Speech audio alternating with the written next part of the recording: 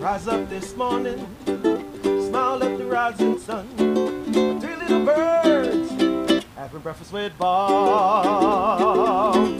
Thank you, Pancho Man. Welcome back to Breakfast with Bob from Conan Huggo's on the Rocks. My name is Bob Babbitt, brought to you by Master Spas S Fuels, right fuel, right time, Hoka, Fly Human Fly, DeBoer Wetsuits, Quintana Roo, of course our Challenge Athletes Foundation. Our next guest from New Zealand, Mr. Ben Hamilton. How you doing, Ben?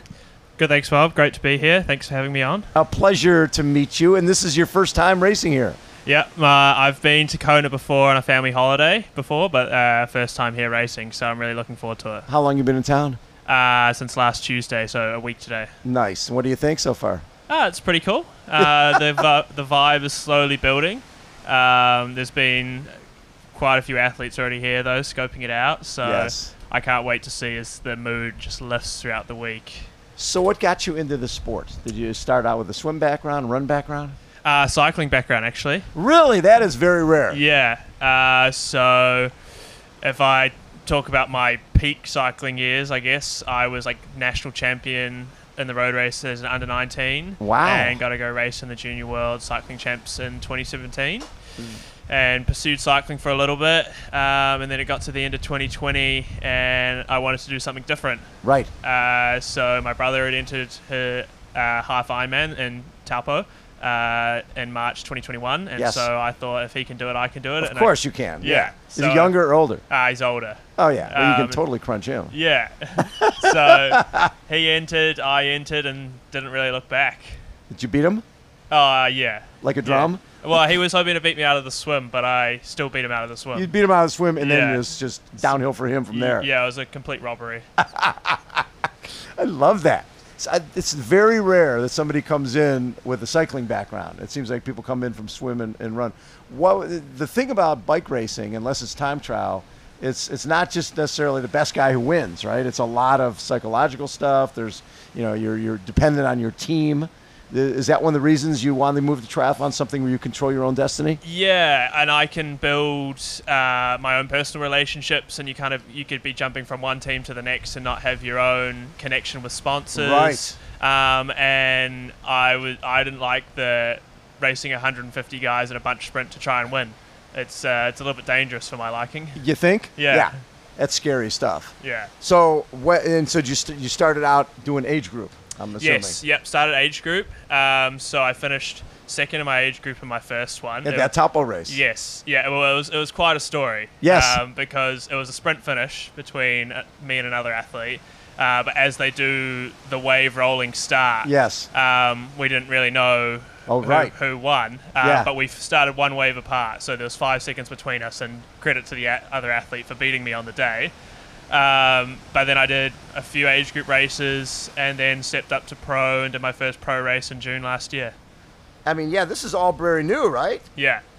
So uh, what you did, you did the Tauranga half in 2022, and then what? Then you, you were uh, as a pro. I mean, right? Yeah, so that race is they were allowing us to race with the pros, but not uh, with not with a pro license. Okay. So I got a nice taste of racing the likes of Braden Currie, Mike Phillips. How fun is Uh, that? Yeah, it was it was pretty surreal at the time. Yeah, I bet. Yeah. I mean, coming from a cycling background, did you know much about those guys? Uh yes, I did. Yeah. You did. Yeah. You were still a fan of all endurance. So you yeah, pretty much. Yeah, I know they both got a couple of Ironman New Zealand titles to their name, and they were Just a few. yeah. Yeah. And so then, in uh, when I look at this year, so was your first full New Zealand? Uh, I did a full last year in Korea. Okay. Uh, that was my first one, but my first Ironman full was Ironman New Zealand earlier this year. and you got third. Yes. So you're like, oh, this sport's pretty easy. Uh, not not entirely. It was a pretty hard day. Yeah. Well, I don't know. You had 54 minute swim, 421, 247, 808. Yeah, it's like, who now? Who won? Uh, Steve McKenna. Okay. Oh, we chatted with Steve yesterday. Yeah. The lizard. Um, and then second at 70.3, St. George. And then you go do another Ironman to do Frankfurt. We, we don't need to talk about that one. What No, not there? really. No. Uh, well, there was there was Ironman Cairns in there as well, which was equally. As Oh, yes. bad Oh, as, that was a um, DNF. Yeah, it's Frankfurt. We got Frankfurt was um, it was okay. I had a small crash. It was terrible conditions. I crashed on the bike, and then gears Oh, weren't was working wet? properly. Yeah, and it was uh, one of those ones. I've come all this way. I should finish. That, and you should, you know, because Yeah. it's a bad habit to get into if you start dropping out. If your if your body's not if you're not doing damage, Yeah, if you have to walk, you have to walk. No big deal. Uh, But you learn from those races too, absolutely. Yeah. What, and what'd you take away from Ironman Frankfurt? Um, there was a lot of uh, negative kind of thoughts after Cairns, Yes. and to finish Frankfurt, I could kind of put those in the back of my mind and recognize the fact that at the start of the bike, you really have to go with the group.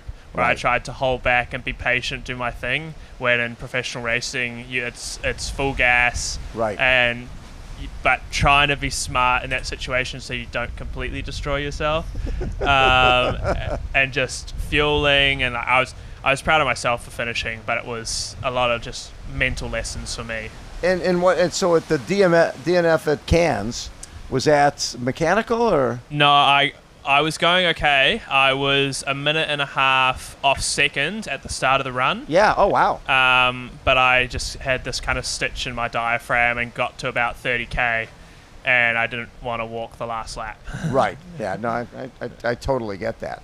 Uh, and so with those races, you know, again, a lot of times you you, you win or you learn.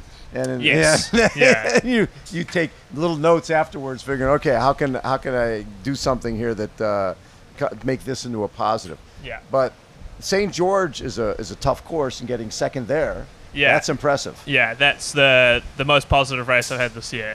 Um, to go to go across and finish second to Sam Long, um, Yes. in one of probably his best performances this It was. year.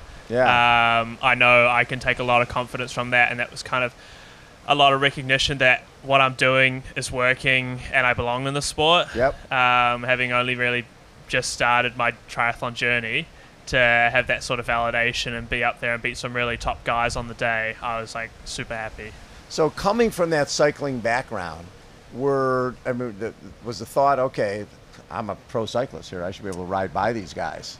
Not really. Like there's there's a lot stronger guys out there than me.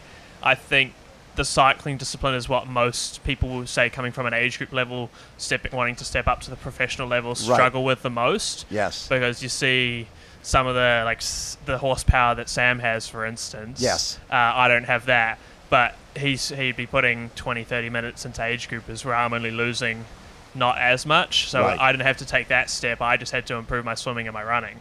Exactly. I mean, you're coming in with it, and that's always the longest part of the races. So Yeah. you know, Yeah. and, and having that there. Uh, had you spent a lot of time time trialing before you got into triathlon, or was that sort of new? Uh, a little bit. I had a time trial bike already, so I could You- jump. Yeah, yeah. I could go across and not be doing my first uh, half Ironman on a road bike, and um, yeah, it was, so I had that. I had the gear. I had, I had the disc wheel. I had the tri spoke, and the, you were all ready to rock. Yeah. And a lot of times when you talk to pro cyclists, they're going, "Oh my God, these triathletes can't handle a bike to save their life." I'm hoping I'm one of the other Ah, that yeah. I can handle a bike. you can handle a bike. Yeah. What do you, now from riding on this course? Does this course suit you? Uh, I think it's I think it's open to anyone. I think not re- having raced it before, I'm Mhm. really interested to see just what sort of wind we're going to get on the day. Right. I think that's going to play a huge part into it. Yes. Um, I'm not sure. I think we'll find out. Like Yes. it's it's rolling, it's challenging. it is rolling and challenging. Um, but it's just I just want to have energy in the second half of the bike, really. Well, and for someone like yourself coming here to the to the worlds and just looking around and oh, there's Sam Laidlaw, there's uh, Gustav and Chris. I mean, this is the All Stars, right? This is where everybody is. Yeah, yeah, and I haven't raced many of them before. Uh, Right, yeah. Kind of like the first taste to see how you stack up, but also there's there's no pressure on me. There's a lot of pressure on those guys to perform, where I just kind of get to go out and have fun. You can go out and enjoy yourselves because there's like, no expectations, right? You're Yeah. you're the new kid on the block here, seeing oh, I'm just sort of new in this sport and see what happens. Yeah, exactly. Have uh, the other New Zealand like Brad, Braden Currie and those guys have they been encouraging and, and helping you out? Uh, Mike's been really great. Yeah. Uh, I stayed with him for the first few days when we uh, got here on Tuesday last Yeah. week. Um, and I get on really well with him, so he's been super supportive of me and just Good. just talking talking and talking shit. Really. well, you know what's fun about this sport over cycling? A lot of times in cycling, it is a lot of the psychological stuff, and that you're you're only as good as your team. Uh, and, I think your your other pros understand that you they can't control what you do. It's you against the course, and you Yeah. against yourself, and you know they, you can be buddies and still go try to kick their ass. Yeah, yeah, and Right. that's one of the cool things about coming here is we're we're the the New Zealand team trying to beat every other country in a way. Right. So not you're not working together, but you'd be proud if a Kiwi guy gets into the top ten or Yeah, on the exactly. podium. Um, be kind of rooting for each other if you're not having a good day on the run. You know, trying to help them out Yes. with, um, in whatever way you can. So after this, after Kona on Saturday, is then back in New Zealand training for uh, Taupo, or do you have other stuff? Yes, I've got one more race before that. I have uh, the 70.3 in Busselton. Uh, it uh, seems like a West lot of folks are planning going from here to Busselton. Yeah, so I'll go home and then I'll fly across. So it's not too far to go from Auckland, um, and that's two weeks before Taupo. So I'll do that as a bit of a warm up, Yes. um, bit of a head out, some more Pro Series points, and then come back home for a home world champs. so you're following the the point series. Uh, a little bit like it wasn't a major target for me. Okay. More the world champs. Just Um, getting here. And here in yes. Taupo. Yeah, so I wanted to race both world champs this year. Kona was the goal and Taupo was the goal. Um, but in doing that, you kind of you've got the bonus point races as well, and so that's why I kind of chased Frankfurt a little bit. Yeah. Um, to maybe give myself a chance, um, but it wasn't like the major focus this year, being its first edition and stuff. So, So getting on the podium at Ironman New Zealand, your home country, that had to be pretty cool. yeah, that was um, very surreal. Um, Was like, family there? Family was there. The brother you Um, beat? Yes, there? yeah, he was there. He wasn't racing, but um, you might see a glimpse on Saturday. But we've got quite the. Oh, you have a big crew. contingent here? Yeah, uh, like reasonable size, probably like eight to ten, um, but very distinctive um, team hammy Oh. um, shirts and quite well done with the two M's being the Iron Man logo. Um, so there'll be shirts, there'll be hats, and they'll be very vocal. New Um, Zealanders being vocal? yes, Really? Yeah. That's a surprise. I, I didn't know that happened. I thought very subdued, quiet type of people. Ah, yes, but when they see me, they'll go nuts. I love it. Ben, a pleasure to get to meet you. I, I, you're going to have a lot of fun out there on Saturday because, you, again, you're playing with just getting here. That was the goal, right? You want to get here, play with a little house money, and whatever happens on Saturday happens. Yeah, exactly. No, thank you, Bob. Ben Hamilton has been our guest. Round of applause for Ben. Poncho Man. Rise up this morning, smile at the rising sun. Three little birds having breakfast with Bob. Choo-hoo. Thank you, Poncho Man.